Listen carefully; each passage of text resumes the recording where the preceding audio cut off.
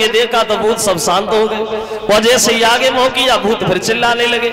अब शंकर जी नंदी पे पीछे मोह करके बैठ गए, दोनों हाथों से पूछ पकड़ ली, नारद बोले, अब और बढ़िया रहा। अब चले भोले बाबा, बारात लेकर के वहाँ। ऐसा ही नहीं।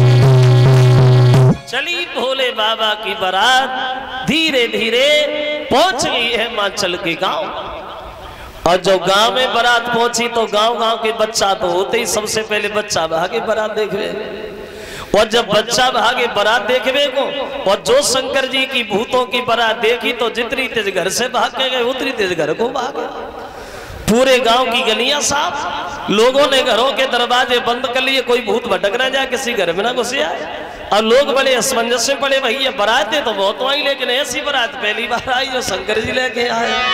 अब बहुत बनी है गाँव।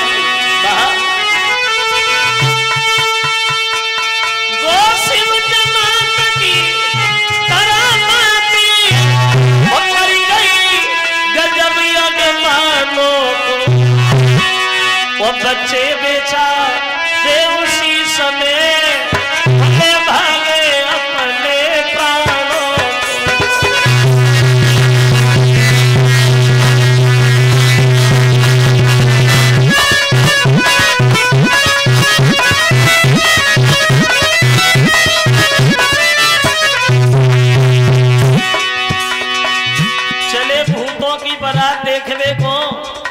अब उतनी देर घर के लिए दौड़े और बच्चा पे पे घरे जाए के बोले।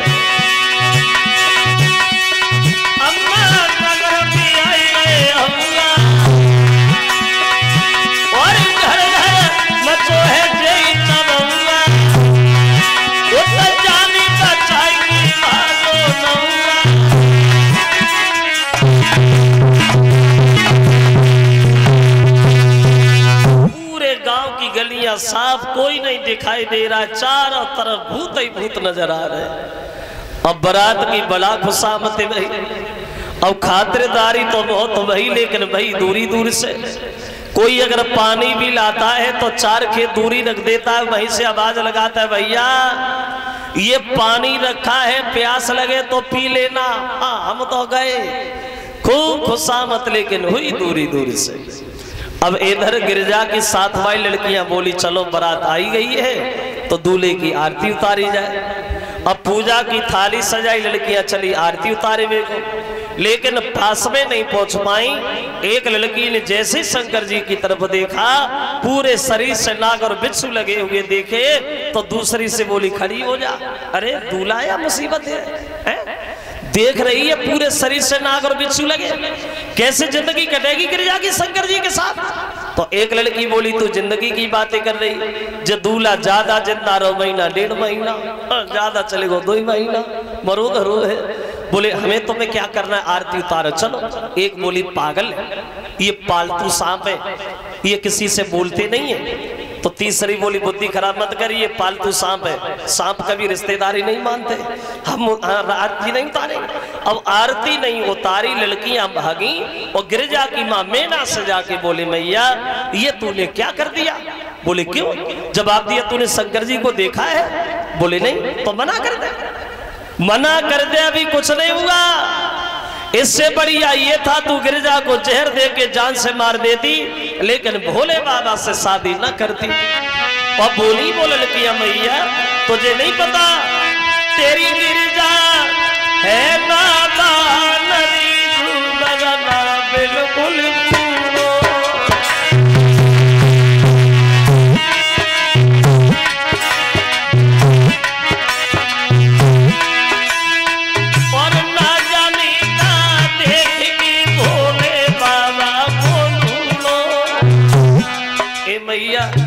जेव कुमार मिले हते ब्याह करे और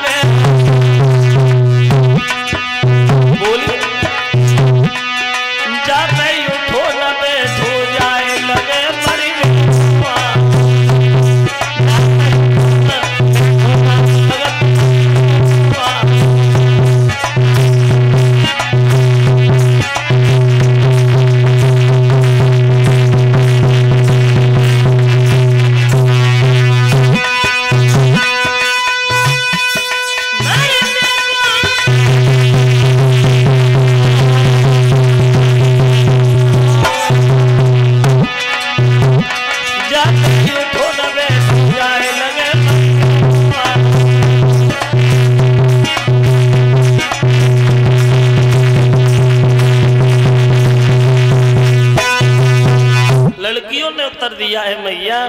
इससे बढ़िया ये था, तू गिरजा को जहर दे के बचपन में मार देती, लेकिन शंकर जी से शादी न करती। तो मैना ने उत्तर दिया तो हुआ क्या? है अरे अभी बारात ही तो आई, हम शादी करेंगे नहीं, बारात वापस भेज देंगे। शादी कैसे होगी? वो अपने पति हिमांचल से बोली है धरा महाराज, पता नहीं ये देवता कौन सी दुश्मनी निभा रहे पता नहीं ये देवता कौन सा बैर पूरा कर रहे नारद से कहो, ये अपनी बारात वापस ले जाए। अब मैं शादी हरगिज भोले बाबा से नहीं करेंगे तो हेमांचल अपनी पत्नी मैना को समझाने लगे, देखो मैना दरवाजे पे किसी को बुला करके फिर उसकी बे- बेइज्जती करना ठीक नहीं है। अरे जो भी है, जैसे भी है, हमारे लिए रिश्तेदार है, शादी कर दो। बोले, नहीं, मर जाओगे, लेकिन भोले बाबा से शादी हरगिज नहीं करो। समझ गए हेमाचल की, अब नहीं मानेगी बात बिगड़ी गई। तो नारद से बोले, भैया नारद, अब हमारी तो मान नहीं रही, अगर